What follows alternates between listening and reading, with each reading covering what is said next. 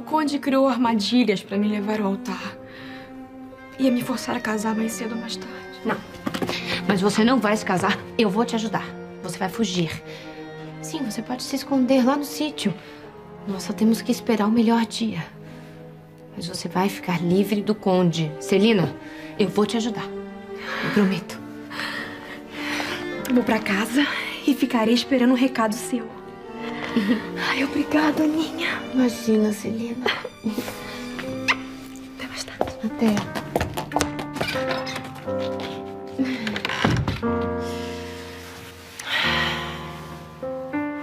Como é bom poder fazer alguma coisa por alguém. Como é bom.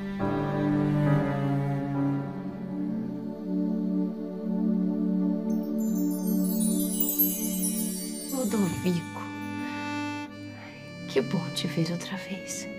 Que bom. Eu vim aqui para me despedir. Para me despedir para sempre. Se despedir. Ludovico, agora que voltou. Mesmo dessa maneira misteriosa, mas. Não vai embora. Por favor, não vá embora. Eu preciso tanto da sua amizade.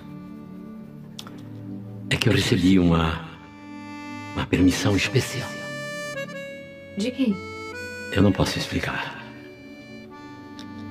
São mistérios que mais tarde você vai descobrir. Só que eu estava sentindo tanta saudade de você. Você estava sofrendo tanto. Então resolvi voltar nessa semana de Natal. Mas agora a sua vida continua e a minha também. Sua vida? Mas. Claro. A vida é eterna. A vida continua para sempre. Mas. Por que, que você não pode me visitar? De vez em quando. Me aconselhar quando eu preciso. Porque eu vou partir para muito longe. Mais longe? Mais longe do que você já está. Mais longe. Eu vou para um reino de luz. Eu gostaria de dizer para você não se esquecer daquela caixa. Lembra aquela caixinha que eu lhe dei? Um dia você vai precisar dela. E ela vai te salvar.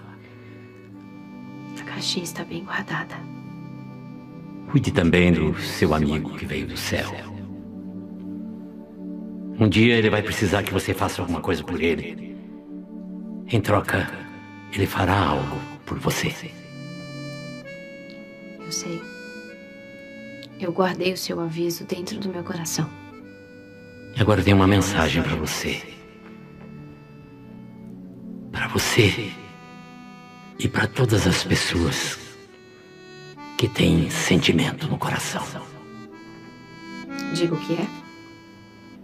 Eu vou ouvir essa mensagem com o coração aberto. A vida minha é uma corrente do bem. Aconteça o que acontecer, sempre faço bem para todas as pessoas. Eu. Eu quis me vingar. A vingança é um mal.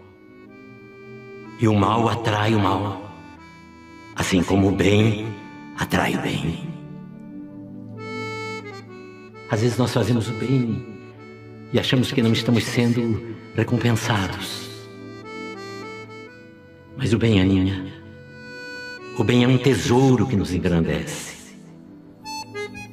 É um tesouro que nos é dado para dividir com os outros. Só assim, fazendo o bem, recebemos o bem.